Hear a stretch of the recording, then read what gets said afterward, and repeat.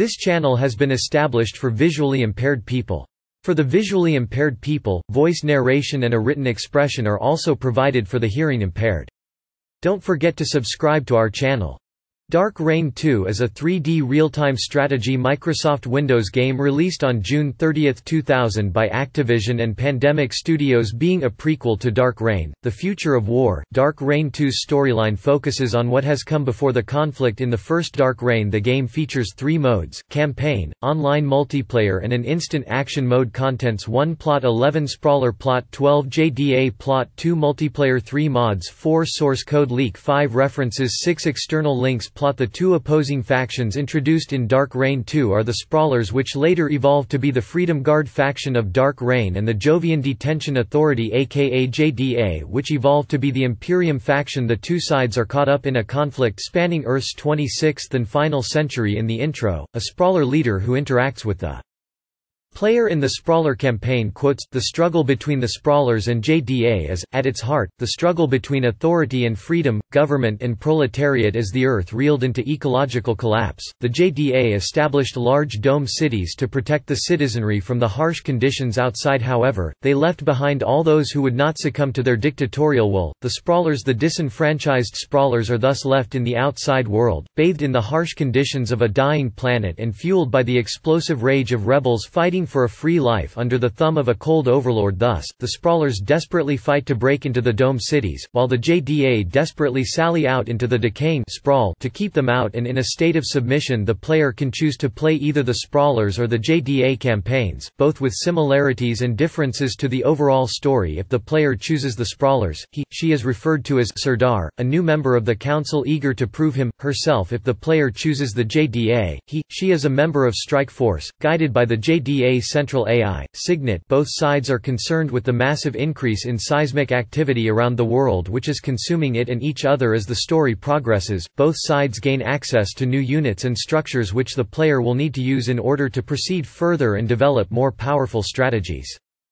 Sprawler plot The Sprawlers are running low on numbers and have been on the defensive for a long time. The Council heavily squabbles on going offensive or staying defensive, noting they can't stay on the defensive forever. A new Sirdar the player begins by aiding them in a more important offensive than the skirmishes of recent, hacking a communication center feeding a city zone JDA propaganda so that the Sprawlers can spread their own message. They are the first to notice that seismic activity on Earth is increasing on a global scale and taking advantage by making a strike on a crippled base, bringing their first victory during the quake, they discover that the door seal of Togra's shrine, the research lab of the great Togra himself, has opened despite only being openable by Togra according to legends. The breaking of the seal signals the beginning of a chain of events the Sirdar must then send forces through icy mountains to rescue the Voodoo high priest, Buddha Shun, from JDA captivity and take him to the shrine so he can examine the site after interpreting the site. Buddha Shun brings disturbing news the breaking of the seal indicates that Earth's time time is limited and the planet is rolling toward a catastrophic collapse, which will bring the end of everything during the previous mission. JDA forces were snooping around the site, which indicates they may have find something or are making plans Sirdar is ordered to hack into the nearby Signet relay station to see what the JDA have in mind.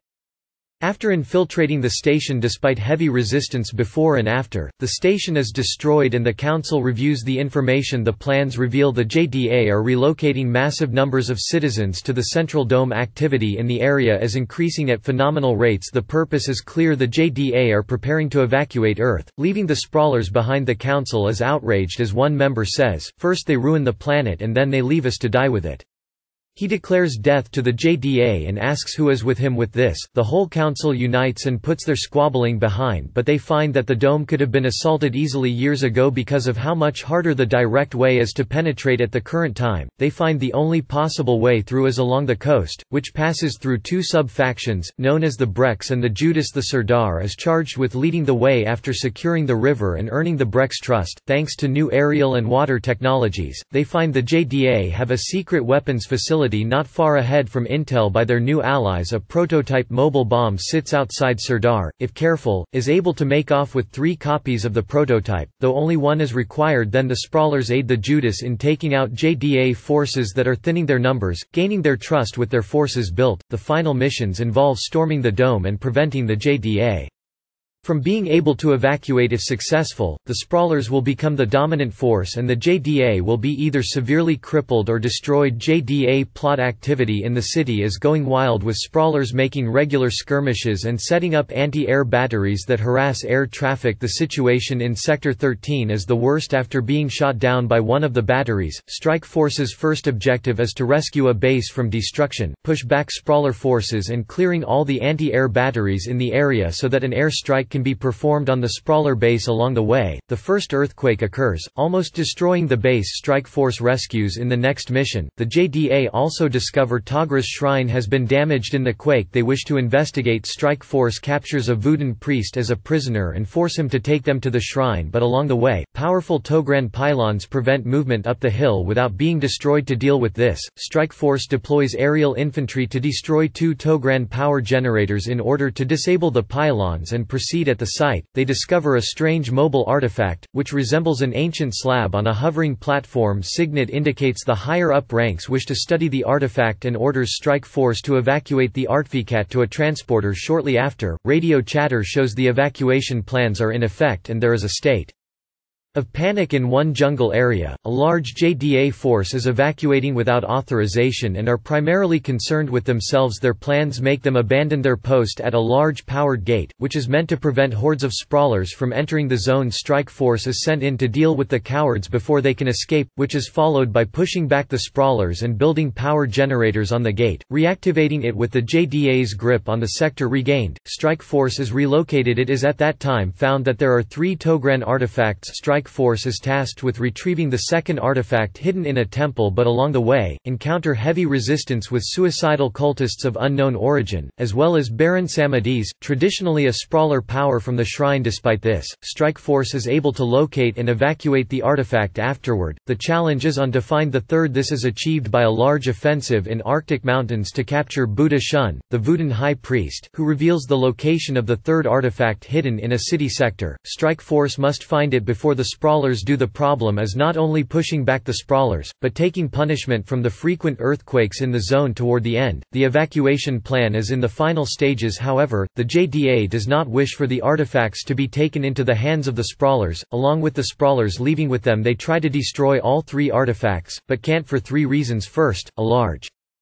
Destructive force is required to destroy them. Second, they have to be destroyed at the same time. Finally, destroying the artifacts will bring about the end of the world during the final stage, as the last JDA citizens are being evacuated, Signet requests that Strike Force sacrifice themselves by remaining behind and destroying the artifacts, achieving this by gathering them around a large number of atomic energy plants before detonating them. It ends with the defeat of the Sprawlers, the salvation of the JDA, the destruction of Earth and the loss of Strike Force. This brings the JDA campaign to a rather sad and abrupt end. Multiplayer The game contains multiplayer functionality, allowing up to 32 players at once, featuring four rule sets, Gluttony, Protect HQ, Blood Bath, and Deathmatch. Blood Bath is a mode in which the first team to kill a certain number of units wins Protect HQ by far the most used as a rule set in which a player who loses their HQ for a certain period of time about 3 minutes loses Gluttony as a condition where the first player to collect a certain amount of resources wins Deathmatch match is a rule set in which a player who loses all of their units is defeated mods players are allowed to create custom mods for the game by making simple configuration files and using the packaging software which can be found on the original game 400 the game has a built-in map editor and there are several tutorials available on the internet.